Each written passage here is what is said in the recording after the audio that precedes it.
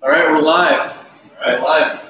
Yeah, Welcome to I Ask No One, I Ask Someone. I am here at Misuta Chow's in downtown Buffalo with one and only Johny Chow.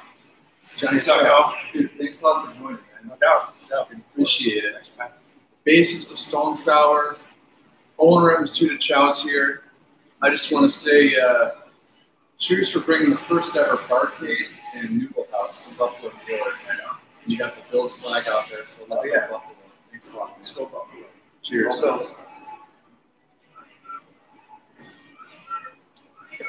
Right. So Misuta Chow's, and your name Johny Chow, and I, I don't know where the Chow came from, but Johny's real name is John Mark Bechtel. I say that right? Okay, so where did the Chow come from? Nickname I got when I was, man, I don't know, mid-teens, and it just kind of stuck. It just turned into like Johny Chow Chow. And then it turned into Johny Chow. And then it turned into Chow. Chow, like you, just like to eat food. Yeah, exactly. Yeah.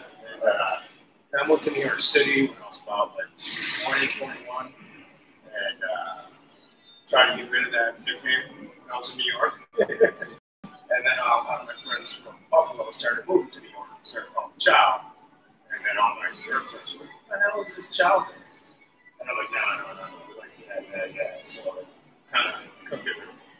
Well, you opened up Misuta Chow's uh, about, was it, three, four years ago? Uh, actually, this past July was two years. Two years, okay. Two years. Two years. Two years. And opening a place like this, what was your what was uh, your inspiration to do something like this? Have you always worked in the restaurant business? Yeah, when I was when I was 15 years old, my uncle on on my 15th birthday, my uncle Mike called me down to uh, this bar that he just opened up. Uh, called me up said, "Hey, happy birthday! Come down to the bar. I got you a present." A couple blocks away from where I lived, and uh, I go tearing down there, and I'm like, "Oh my god, what Uncle Mike give me? You know, sweatshirt, pair of kicks." And I walk in, and he says, "Hey, happy birthday!" He threw an apron on my face. He said, "Happy birthday! I got you a job." Back in the back and start washing dishes. I was like, "This sucks." You know what I mean? At 15, having to work. But, you know, I worked out uh, you know three, four days out of that week, and then I was off the books because I was too young. And um, comes up, he hands me a little envelope, and says, uh, "Here's your first paycheck." And it's like 84 bucks or something, and I was like. Age 15, yeah. Yeah, you know, that much money at age 15. And, you know, I was like, this is awesome, man. Throw on my headphones, listen to music, just wash dishes. And then I subsequently worked throughout the kitchen, became a prep cook, and, you know, got on the line. And then uh, one night, uh, one early evening, I should say, uh, after I worked a shift, um, the kitchen was like, listen, he's like, you know, Johnny Pizzino called in, you can't bar back tonight, so I need you to bar back tonight. I don't know about that. He's like, "Yeah, it's, it's the easiest job. All you got to do is make sure that you have clean glasses, ice bins are filled, beer coolers are filled, and liquor on the shelf. That night I walked out with like over a hundred bucks cash in it. One night, and I like do you know four or five nights, and I you know make a little bit more than that. This is way better. So that got me behind the bar, of the kitchen. And ever since then, I've been between doors, bartending, managing bars, and uh, opened up a bunch of places for friends, and finally decided to do Student Challenge with my, uh, my partner in life and partner in business, Christy. Very cool. You and Christy. Yeah, Johny, again, I'm here. Johny Chow from Stone Sour, owner of Misuta Chow's. Uh, you are born and raised in Buffalo. You are wearing Bill's shirts on stage, you know, hats, that's you know, in these, these promo pictures. I just love seeing that. But uh, staying with Misuta a little bit, you mentioned last time we spoke, you have a magician, a magician coming through yeah, weekly. he comes here when he's in town. It's got Garrett Thomas. He works with David Blaine, so he's out of town a lot, working with writing new skits and whatnot, tricks. Um, come in, he'll just randomly kind of come in, like, you know, and just magic people's faces off. Like, people get so tripped out about it. Like, I love when there's a big kind of tough burly guys in there, and he goes up and he starts off with his Rubik's Cube tricks. And Okay. these guys are like, oh yeah, okay, whatever. And then like Just kind of. two or three tricks into it, these guys are like, What are some other tricks that he's just pulling out of his sleeve? I mean, you know, he's got this magic eight ball, that is straight up a hard, rock hard eight ball, Yeah. and he puts it in his wallet. It's like it's crazy. He's an amazing slayer. Uh, you know, so.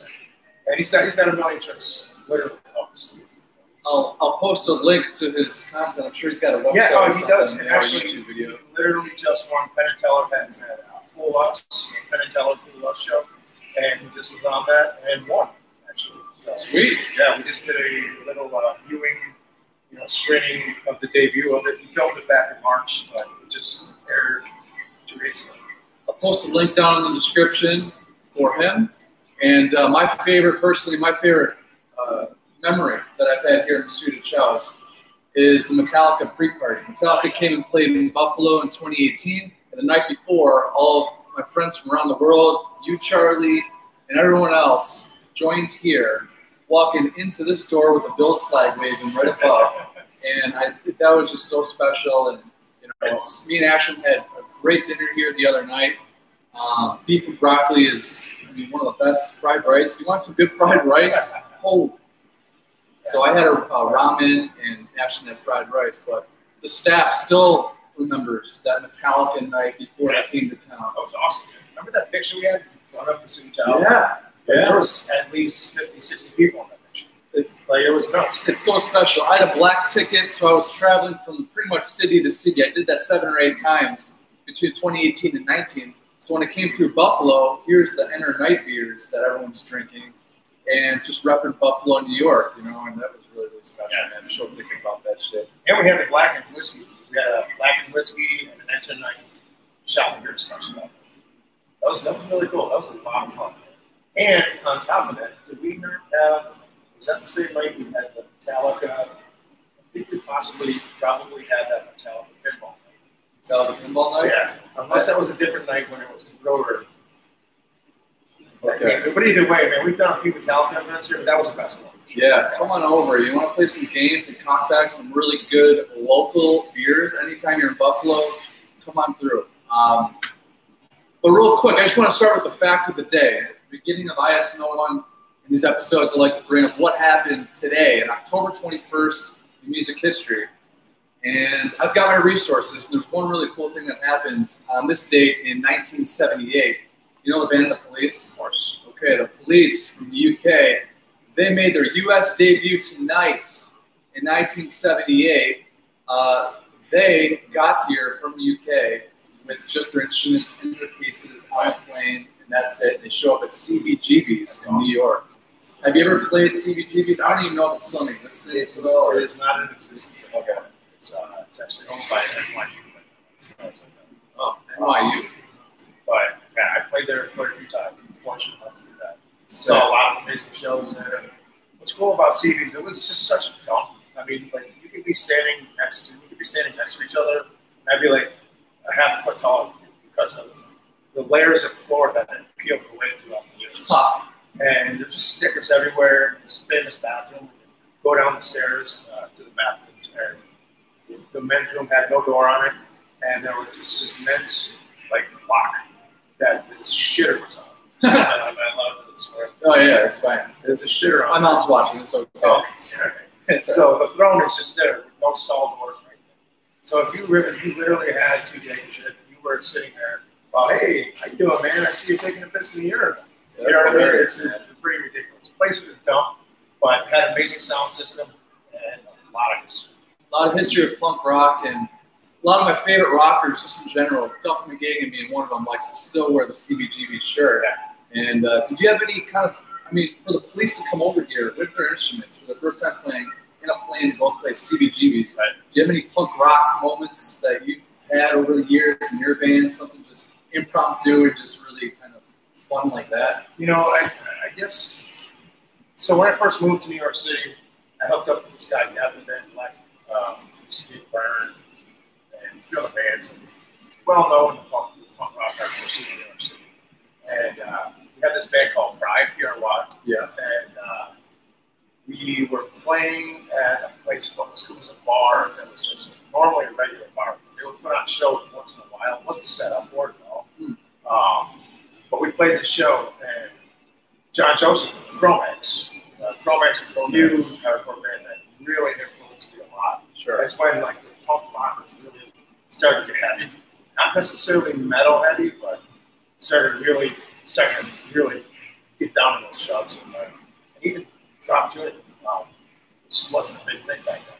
So he was on the side, he was watching watching us play, and I come off stage and he smacks my forearm and say, Yo kid, that's a pop my forearms. and I'm just like tripped out because like that's John Joseph. Just like gave me a compliment, I guess. Yeah. Oh, that's I don't know. It was, it was, it was pretty cool. Cool. Well, that's that's punk rock right there, bro. Yeah, yeah, no, for sure. Nice forearm. I got to see some of the Beastie Boys perform with the Throwbacks actually at CBG. Shit, When they came out, oh god, man. talking 80s, 90s, or We're talking, I'd say early mid '90s, something like that. Um, we just they were that show, it just came out, and just did a song. I couldn't even tell you what song it was. Sick. Well, I didn't know you lived in New York. I had to wear St. Vitus Yeah, there you uh, go. shirt. You know, Nice. we've had some fun times in there. I saw a band there called Albatross. Yeah. Albatross. I know that name. Okay. Yeah, they, they had a Macedon beers there and just a lot of kind of satanic things. It was just cool to be in there. But sure, sure. uh, also, Tom Petty, he would have turned 70 today. So happy birthday, Tom Petty, RIP. I know Petty used to come through Darien Lake a lot. Uh, Yeah. did you ever see Tom Petty live? Know, I never saw him live, never met him. Um, I have a friend who somehow his girlfriend are like direct cousins with the Pettys. Um, it's the closest I ever got to. But uh, amazing DVD documentary. I don't know if you've seen it. It's really long, really long, but it's awesome.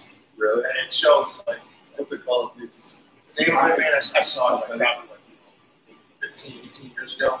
Okay. But it showed like whole band. They started out as a band, they continued on as a band.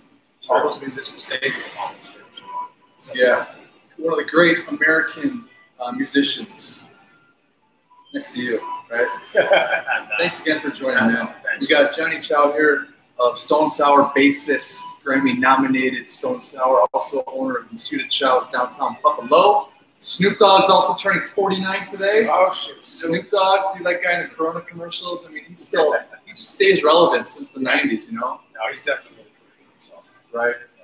So uh, today's quote, I like to have a quote of the day. So today's quote, I had to, yeah, I was thinking, what am I going to say with Johnny here? And I just got to say, nobody circles the wagon like the Buffalo Bills.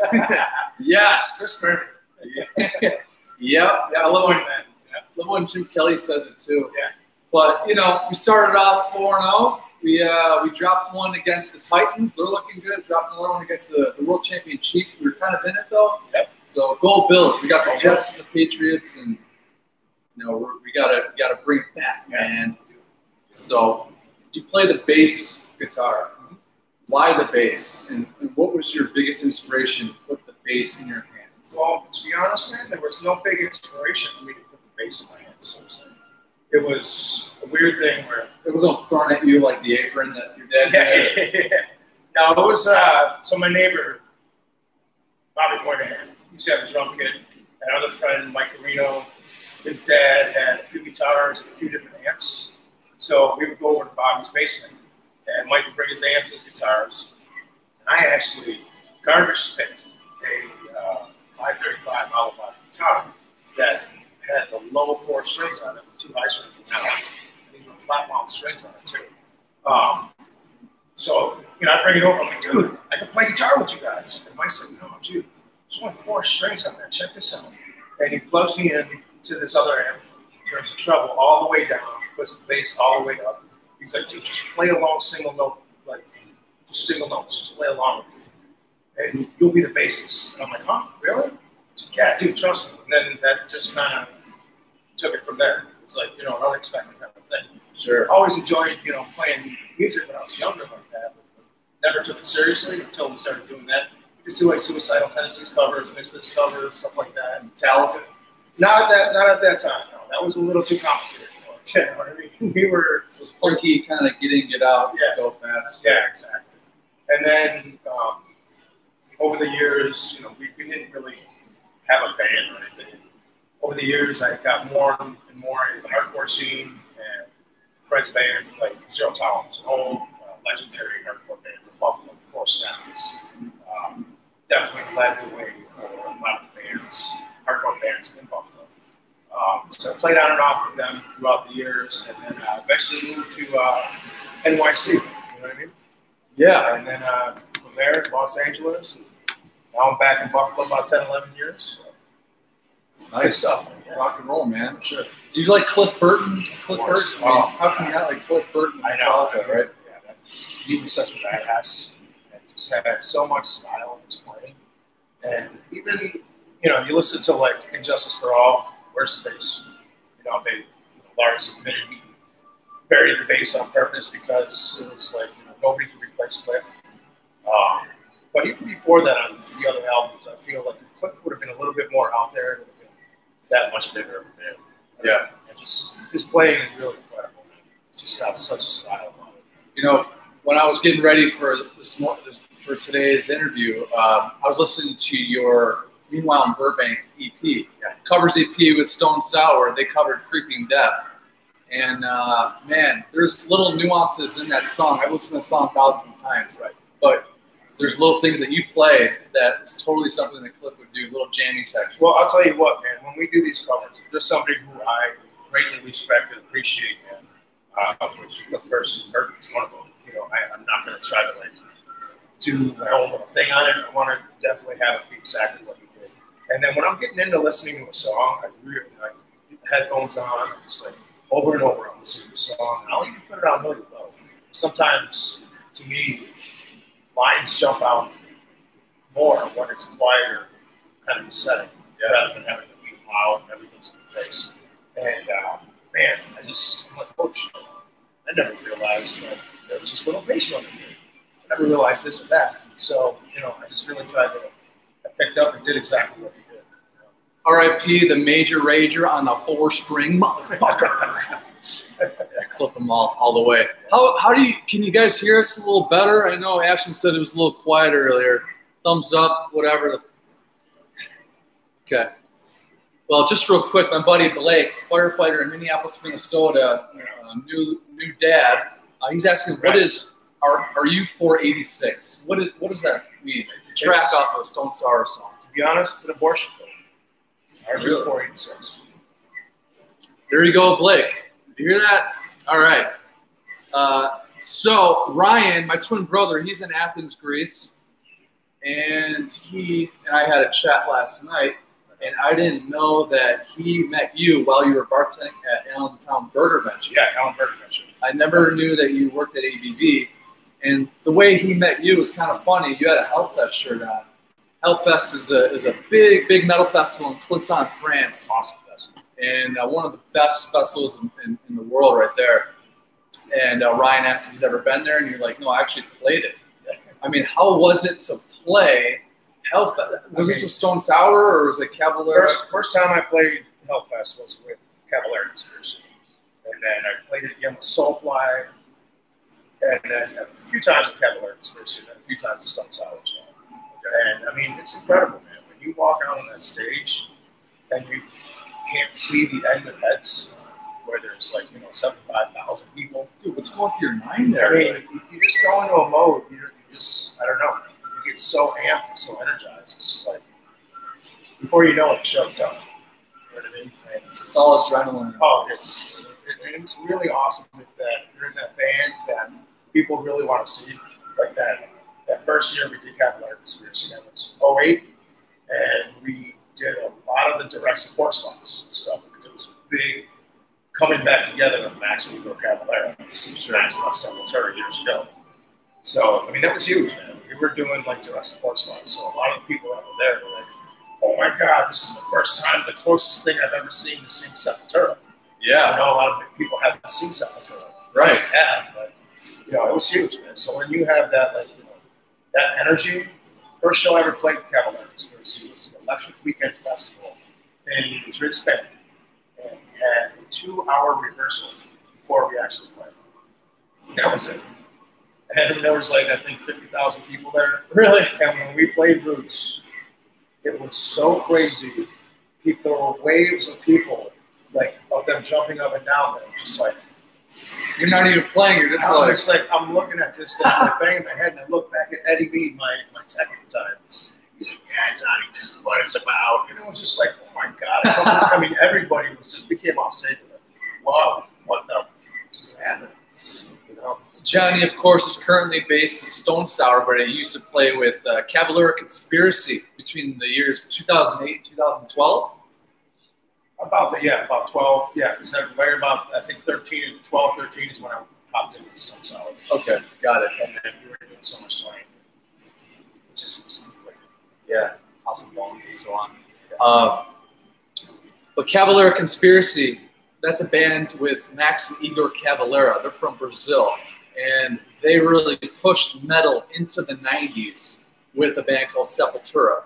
They were around in the 80s, but really it was them and Pantera and Rage Against the Machine bringing the heaviness still, while grunge and, and I love that shit. But you know, metal, Sepultura really waving that flag. You know, angry music, you know, heavy music, music that had a lot of substance and purpose. And uh, band, it sounded kind of like Korn. You know, Korn was just bringing that heaviness. So seeing you uh, that you were playing with them, I'm a diehard Gojira fan. Oh yeah, Those guys are actually, I would say, my friends. Yeah. Uh, I've seen them around the world, from Australia to Vancouver to LA. To when they see me and Ryan, we're the twins up front, Yeah, just like awesome. Metallica and so on. right, right. But Joe Duplantier, he uh, to this day he still talks with Taylor about how stoked he was that he was able to lay bass down on the Cavalera Conspiracy record because he was such a big Chaos AD fan and First. Sepultura fan. Yeah, I mean, what do the guys say about that experience? Have you met Joe and talked Yeah, about this no, at all? I know Joe well. I know Joe well. His brother Mario. Um, Happy belated birthday to Joe. Yeah, HBD.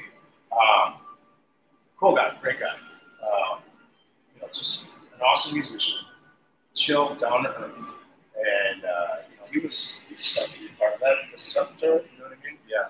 I was when I got that call too. I was like, whoa, no way. You know, it's like it's crazy. A friend of mine was booking in New York City was uh, Soulfly's agent, booking agent. Okay. So he was going to be booking the Cavalera Conspiracy tours. And Joe couldn't do the tours because Joe was obviously with Gojira. So um, he called me up and said, hey, dude, you interested in this? Hell yeah. So it was an easy thing. By the way, do you want to just go? You know, want to join Cavalera Conspiracy? Uh, what do you think? Yes, no. I know, right? Just like that. It was just like It was, well, it was just like, well, I'm going to put you in touch with Gloria, the manager. And I talked to Gloria on the phone. She put Max on the phone. Um, I knew Mark Rizzo, guitarist of Soulfly and Cavalera Conspiracy, when I lived in New York City. We lived in Jersey. I was living in Jersey City, which is just like living in, you know, Brooklyn, Queens. It's just, you know, cheaper, cheaper rent across the, across the. You oh, gotcha. Um. So we actually played in a band together for a hot minute. Like literally had like three rehearsals and then he got the soul flight. So I knew Rizzo and I called him Mark. I'm like, Mark, what you tell me about Fireball Ministry? I didn't think you'd want to, you know, leave that band. I'm like, well, dude, come on. This is Cavalera Conspiracy. Yeah. So uh, yeah, it was just, you know, Mark vouched for me. And next thing you know, I'm getting playing, I get the CD and compact disc of all of all the, the music that we'd be playing um, for the first leg of the tour. Just And, learn uh, it. Yep, just learned that and went out to Madrid, Spain, got in the rehearsal room for like two hours the day before, and then played the next day. My dream, uh, my dream for the longest time has always been to be a touring musician. Right. Um, I'm a drummer.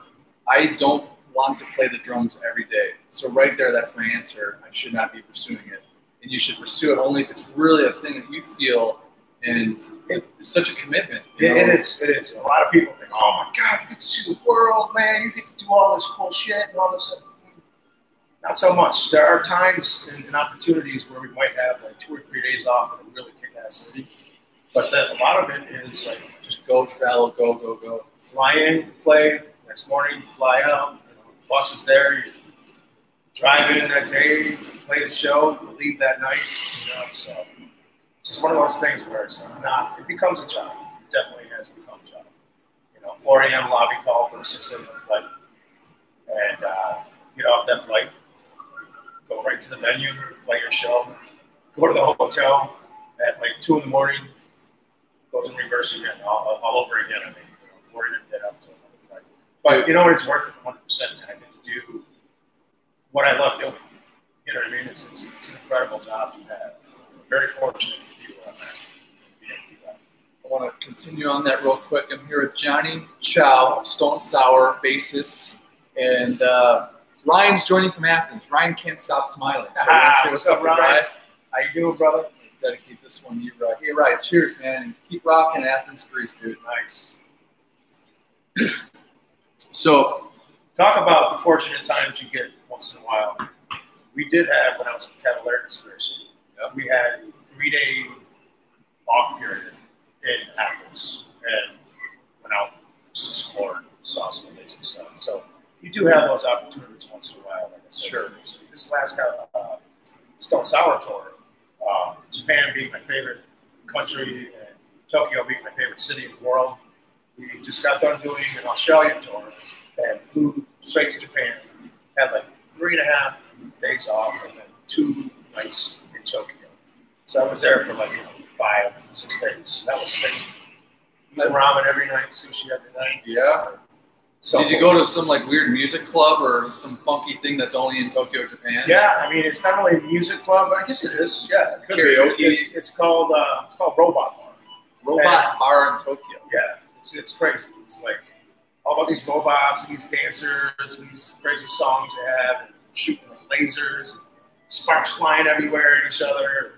It's it was a trip. It was a trip. You can look it up. It's very very famous. I was first introduced to the weirdness, the coolness, the lights of Tokyo in a, in a game called Tony Hawk Pro Skater 3. Yeah. You know what I'm talking about, dude? Yeah, sure. Absolutely. So uh, with tour with touring, I uh, I mean, if you could just ed- educate our viewers a little bit more, just the travel part, and you know, there's unwritten rules too on a tour bus or on a plane or whatever.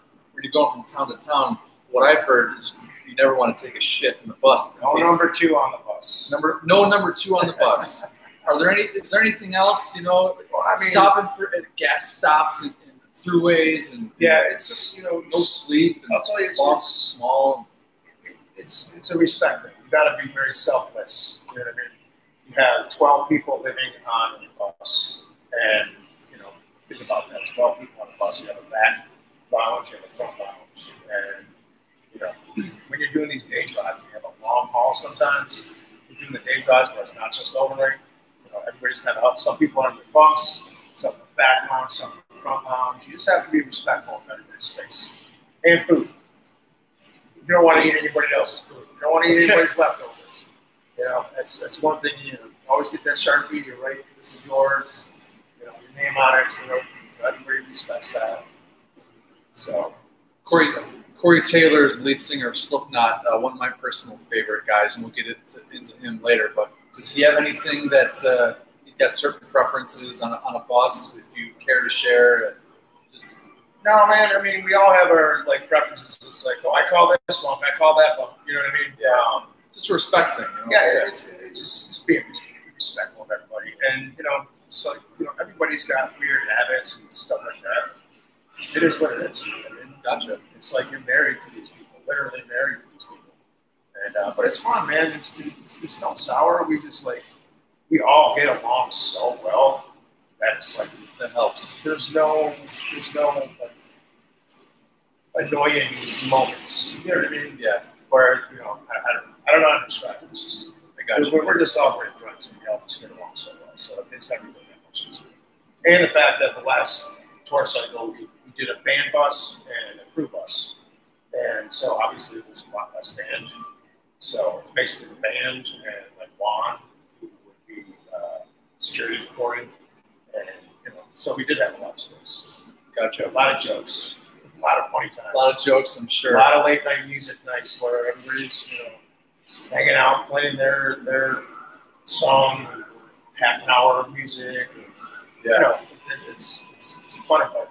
that's so cool, man. I mean, really one of the funniest guys in rock and roll uh, that I've met, and he's also from upstate New York. And shit, I'd consider him a friend too. Anytime he's in town, I brings Weigel's hot dogs and, and Jenny Females. And I think you know where I'm going. It's Brann Dailor. Brann Dailor, of yeah. Mastodon. I was in their High Road music video. That was his kind of uh, plots for the High Road music video. I'll post that in the description below. But funny guys that you've come across, Brann Dailor, uh, any moments from him, like what's the you know the hardest time you ever laughed with Corey Taylor or he's a goofball. He writes these books and I read these books. I've, I've met at Book Soup in West Hollywood with Randy Blythe. I, I, you know, I couldn't even pick out a particular time because yeah. it's like the whole day. I mean, Corey's like a little kid. He's just like always joking around. He's always like, we would we would do some songs that we would like change the lyrics around to, um, to like whatever funny kind of moments we were going through. And uh, which I won't say or say what the lyrics are, but you know, we just uh, he's, he's he's a trip. He's a lot of fun. And he likes to call us out on stage. Like like if you fuck something up, he will definitely call you out. Yeah. Um, what the fuck, man? Yeah, yeah, which is which is hilarious because it's like I remember the first tour I did with them on the House of Bones, uh, part one, or part two had come out. My name is Alan. Yeah, great song, great song. Um, but we uh, we did the we did this short little run. So I had to learn all this music. Did this short run called the Maquinaria Festival in South America. Um, uh, where else? Brazil, um, Mexico. I'll be in Mexico a few days. But so we did that. It was like a week and a half, two week run. Then we came home and we had like two weeks off before we hit the road again. And when I'm learning music, I can learn it pretty fast, but if I don't stay on top of it, I'll lose it pretty fast. So I'm always learning music for like Cavalera Conspiracy, so, you know, Soulfly, Stone Sour, Fireball, man, I'm learning all this music all the time. So it's like, you know, I can learn it quickly, but I can lose it if I don't sit on top of it. Right. So that two weeks off that we had home, what it was, but I was, I think we were in the middle of a move or something like that with family, and there was a lot, of, a lot of stuff I was doing at the house to get ready to like head out and go for the next like, two years basically. So we get back to, to France. First day, uh, we were playing, what were we playing? It wasn't Bataclan. Um, Bataclan, yeah. RIP was the victims there um, forget which which venue it was in Paris, but uh, we um, we're up on stage and we're into it, and we do the first song, and then I'm like, oh shit, blank. I'm looking at the next song in line, but I'm wait a minute, how does this song start? I'm like, yo, Roy, like I'm back by the drums, by the drum. I'm like, Roy, I'm like Roy, why? I'm like, yo, how, how does this song begin? He's like, what? I'm like, how does this song start? He's like, I started one, two, three. Oh, I know, but I mouth it out to me. He was like, da da da da da da. I'm like, oh, okay, okay. and then you know, click right into it, and then we get to the third song or whatever the break, and then we get to the next one. Yeah, I have having total fucking mind fart on stage right now. I'm like, Roy, Roy, piss loud on there. We have our inners in, and Roy's deaf as hell as it is. And he turned like, what? I'm like, dude, no, don't leave me hanging. How does the song start, dude? And then all of a sudden, Corey says, what the fuck is going on back here as Corey's talking? I said, what the fuck is going on, on back here? Yeah, on the mic, just like that. And I said, hey, you know, can't remember how the songs begin. And Corey looks over and like, Johny Chow, didn't we just get off and do in two weeks? It's the same set. I'm like, I know. I did a little mind fart. He's like, okay, well, if you want, I can hum out the songs to you on the mic before we begin them. Did you say this on the mic? Yeah, so, yeah, it was hilarious. Though. Oh it was God. great. Everybody yeah. was like, that's how we all joke around with each other like that. That's we cool. play jokes on on Corey on stage. Yeah. You know what I mean? Like, you know, called him out, like, even on, like, you know, birthdays, which he hates when we do that. And we made this whole little, I don't know if you, like, the beginning, beginning part of, um, of uh, the beginning of the last album it was the Type A, uh, Type A. Yep. So basically, we had this guy, Sank. Uh, awesome record, by the way. Oh, thanks, man. Uh, Ponzi Sergarelli, I think you could call him. Or Sergei Ponzarelli. Sergei Ponzarelli. And it was just a mashup of all different languages in one. Roy would do it, do this invitation. He was like, hello, this is Sergei Ponzarelli, and we're here to wish Corey Taylor. Like, he did this whole crazy, like, recording in a trailer in, in, in between the songs. Of course, like what? And then Josh comes out with a birthday cake covered him in sparkles. You know. We like to have fun. Another time, Josh, in between in between our, our regular set and our encore set, Josh goes out and takes this really small, tiny, fine um, uh, like sparkles, puts like bags of it, puts it all over Roy's kit. Roy's behind the curtain, not even seeing it. When we go in to play the song, lights are down. When we come back on stage, then we go in to play the song, and Roy just kicks it in, and he's playing. He's noticing on his big floor toms all this glitter, and he's like, and he knows he's got to go into this part where he goes right to the tom, and all of a sudden, boom, sparkles went up. He was covered, he was sweaty. He was like, honestly, man, he was cleaning out sparkles from his drum that whole like, that whole time. That's that hilarious, time. man. That's But yeah, we like to have fun. Yeah, uh, I've been up close with Corey. Uh, There's a few times that come out to me. Uh, Metal Allegiance played a show after Lemmy passed uh, at the at the Whiskey a Go Go to commemorate Lemmy. Played Running with the Devil, R.I.P. Eddie Van Halen. Um, and yeah, Corey he came out and played. Uh, geez, what song was it? Oh, Uh, Ace of Spades, maybe. Right. Uh, but he had his shirt off and he was just having a good time with, with Corey Taylor. And then, of course, when they Slipknot headlined Gojira in Volbeat, I think it was Behemoth, um, the sound, like earlier in this episode, the sound was a little low. And there was this guy to my left, and he writes on his, on his phone, blows, gets the brightness up, and he says, We can't hear you. And Corey, in the middle of a song, kind of looks at this, and the guy puts it away, and Corey's in the middle of the song. He's like, No, no, no, I want to see it again. So he, he saw it, and then that uh, when the song finished, he went to the side of the stage, and all of a sudden the sound's better. Just the, the improvisation Yeah, and, and the looseness, and the, and the. I think if we were to have a captain in hard rock heavy metal on the ice, just a captain in general, hockey, I think Corey really. I love my Hetfield, but Corey really, really uh, represents well. Just really is, is vocal about how awesome this underground music. It's now underground again. Yeah. Is you know, Yeah, sure. killer. So you open for Ozzy Osbourne, Yeah. and when that when the opener was announced for Ozzy Osbourne, and there's no more tours and uh, no more tours too. no more tours too. Because We're not talking 91, Yeah, yeah, yeah. But we're talking 2018. Uh, I drove out to Syracuse with two of my bandmates I used to jam with in San Diego. And we were on the lawn, and I was about to see Ozzy Osbourne for my very first time. I'm really excited about that. But Stone Sour, I caught the ass end of your set when you opened up for, I think, Godsmack and, uh, and Staind one year. I think this is before Might have been before I was in the band. Okay. Uh, but dude, opening for Ozzy Osbourne for, for amphitheaters in the summer. Yeah. How cool is that? I mean, do you have any funny moments from Ozzy Osbourne, the one and the only? Uh, you know, I mean, not necessarily. Ozzy wasn't around much as far as like he was basically. They were hubbed wherever we were. If we were in a region like if we played like Syracuse, they'd be hubbed out in uh, New York City. So they would fly every day in and out of these, show, uh, showrooms. Um, so he wasn't around much. Um, he did send us a killer like gift basket. Right? It was awesome. What was in the gift basket? like everything from like cheeses and nuts and chocolates and a bottle of vodka, and a bottle of whiskey, you know, a couple bottles of wine. Like it's super nice that, that he did that. Um, Zach Zakk Wylde would hang out. He would hang out.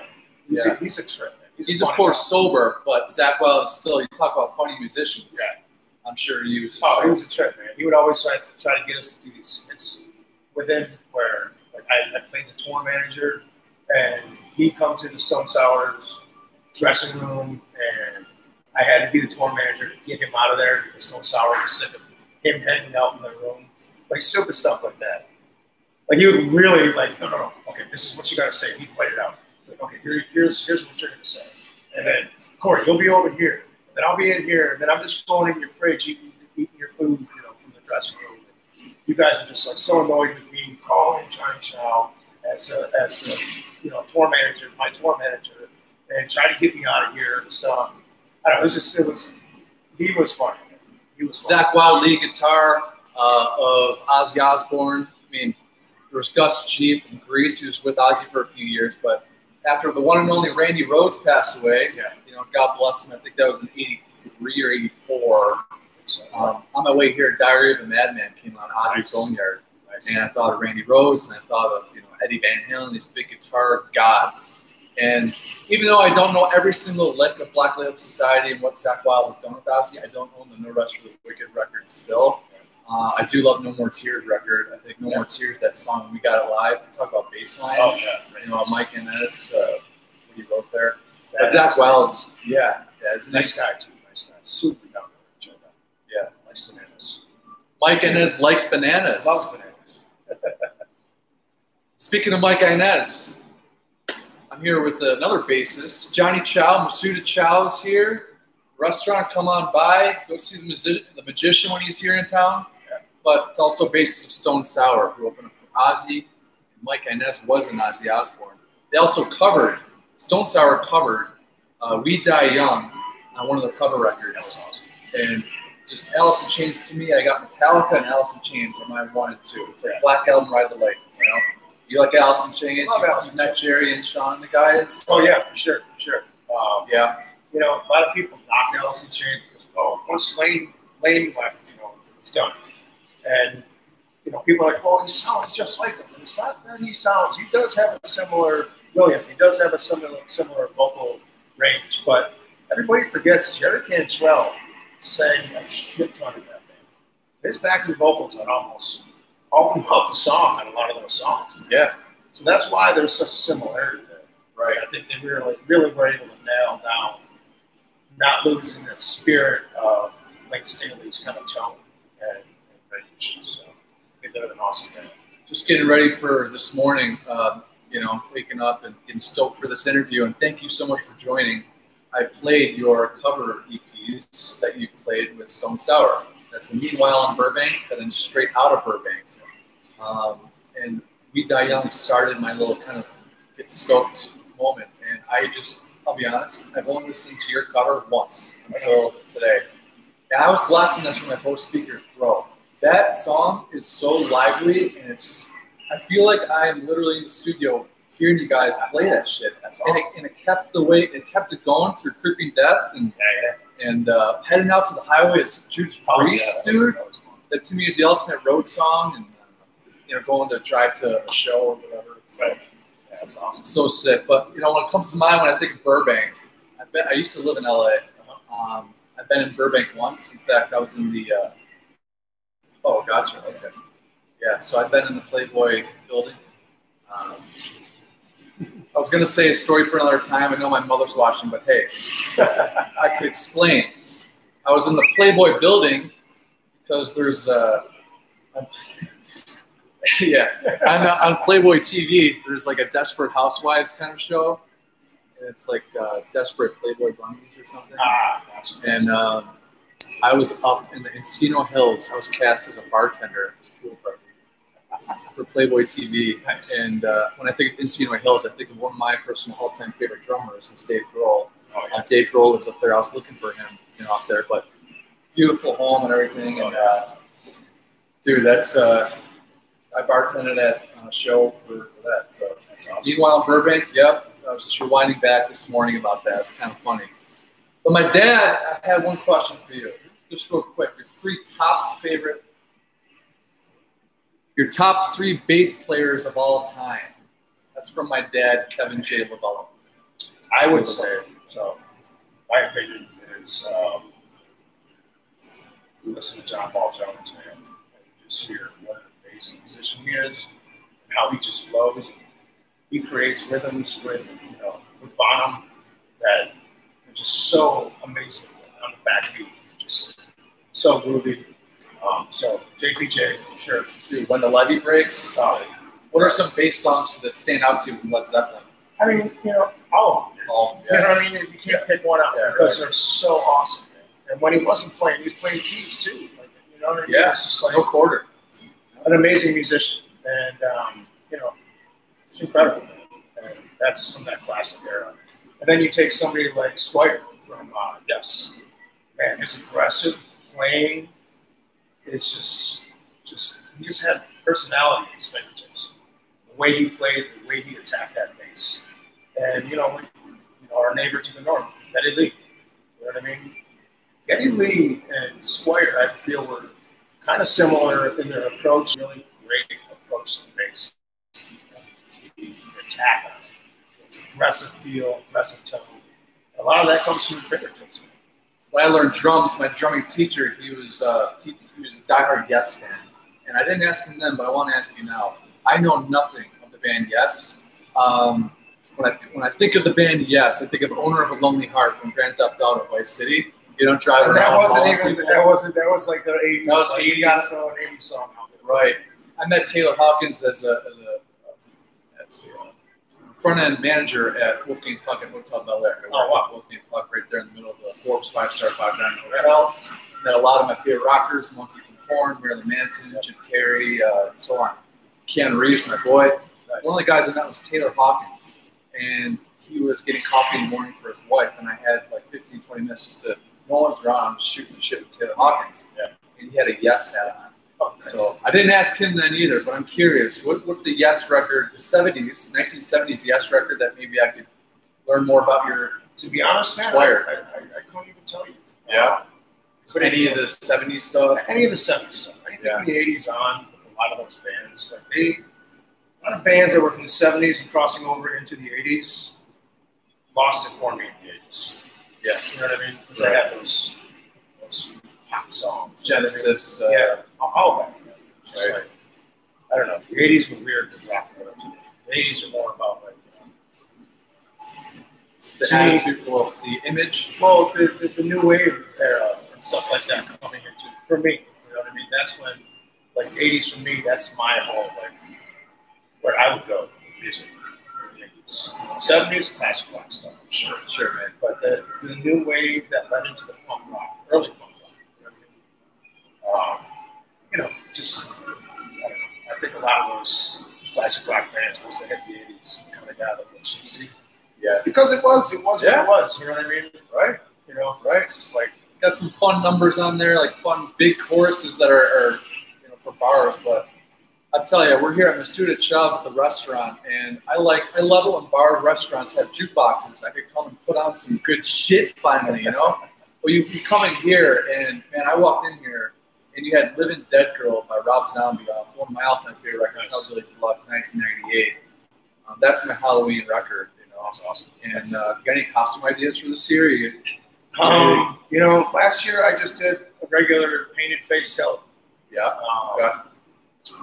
I don't, you know, it's so crazy. This, this whole coronavirus, you know, I mean, we usually plan a big, huge Halloween party we have the costume contests, all sorts of stuff. But I'm not too sure what we're doing this year, so I don't know if I'm going to be dressed up this year. okay. I Just know it's an off year for everyone Yeah, in that respect. in the restaurant business. And, you know, just one last question I have for you.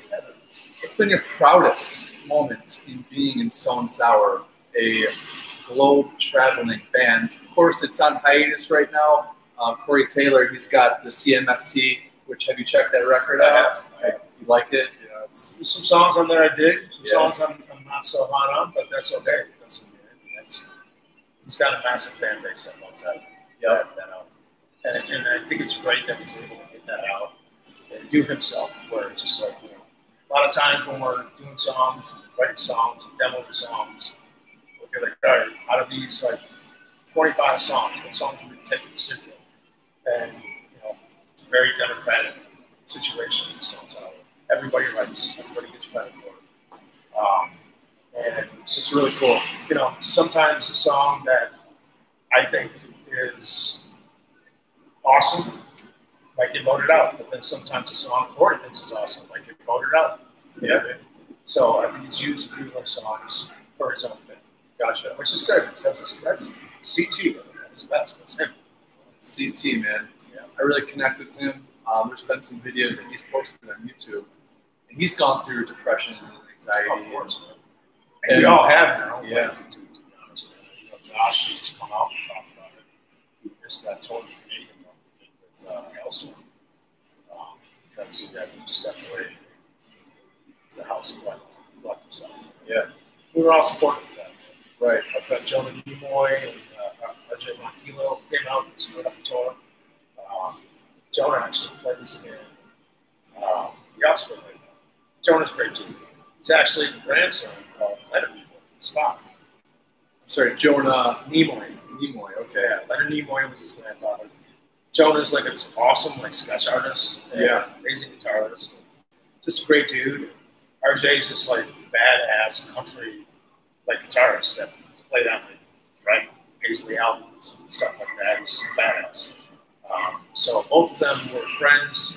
We all met them through uh, Tooch, Christian Martucci, the guitarist for Sing Solid. So Tooch called them up and was able to get them to come out and learn the song. Like literally, songs and Jonah learned it in a matter of like 24 hours. He had to because we were we were coming from doing the cruise Yeah. to starting our tour, and uh, yeah, so props to those guys. So Is there moments or memory that you, you've taken thus far in your journey with Stone Sour that stands out? I mean, the fact that you're you guys are buddies and bros and you're able to bullshit on stage, um, that's that's hard to come by. yeah, no, for sure. I mean, I would say like the proudest moment for me with Stone Sour, pr- proudest moment in my musical career, honestly, was when my mom and dad got to see me for the first time. That was at the Rapids Theater. Never seen me play all the Who was like. that with? Uh, That was with Papa Roach. Papa Roach. Yeah, we were. It was Stone Sour and Papa Roach were doing a flip flop on uh, headlining dates. It's the opener. I forget who the openers were, but um, so that's a Papa Roach. Rapids Theater in Rapids Falls. Theater, Yep. And my mom and dad, my whole family for that matter. I talked to the guy at the Rapids, and with our tour manager, I was able to secure like a few uh, tables in the balcony. That was the first time they ever saw me play. You know, all my years of playing Painters Halls, different shitty bars and stuff like that, they never saw me play. So it was really cool for them to see me play that in that atmosphere, in front of like 2,500 people. And you know, Corey did this big huge introduction, pointed out that my family was up there. So that was really cool. That was awesome. It's awesome, man. Yeah, sure. I can't even imagine. That's that's so cool. Um, dude, so I got something for you. You know, and uh, thanks so much for joining me. Thank you. I I asked no one. Yeah, of course. I asked no one. I asked someone. Uh, you got some cool decorations here at the restaurant. I thought you could use my boy, Oh yeah, man. Jack Skellington. Jack Skellington, That's awesome. and uh, you know you hold this. Oh, sweet. That's awesome, man. So I'm gonna be Jack Skellington for Halloween. Oh, you are? My Nice. girlfriend's gonna be uh, Sally. So Awesome. Here you go, man. Oh yeah. Yeah. Sweet. Yeah. We've, But- had, we've had a little Jack Skellington. I don't know if you noticed, we have him tucked up in the corner. Oh, really? It's like a little hidden gem. Oh, okay. thing, So I'm gonna have to find him. yeah, put this bad boy up for sure, man. But dude, we had a great dinner here the other day. We're gonna come Thank back. Um, keep rocking, man. Thanks, man. I appreciate it. Faith, and Yeah. uh, you know, if you're watching right now, I think I'm shoot subscribe or check out the other videos. You know, subscribe, whatever. I love subscribe, but uh, stay happy, stay healthy, stay hungry, stay heavy. On Saturday, it's going to be 20th anniversary of Linkin Park's Hybrid Theory record. Oh, wow. It's 20 years, man. It's also, yep, and uh, we're going to talk about that. Just, me and my sister Hannah. My sister Hannah turns 25. Nice. So a little happy birthday, Hannah. Birthday, Hannah. But brother, thanks again. Thank you. Stay safe. Thanks, guys. Peace out, guys. Later. Awesome. Cool, man.